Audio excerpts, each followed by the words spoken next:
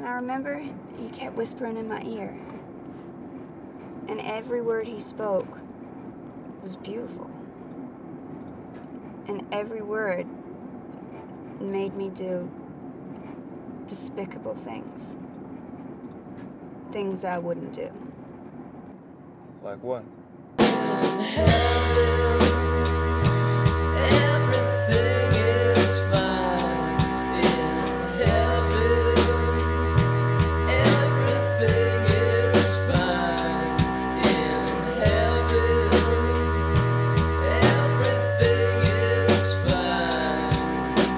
Inquiring mind is a catalyst of evolution. The more we question everything around us, including our reality, the more we will all begin to wake up from this.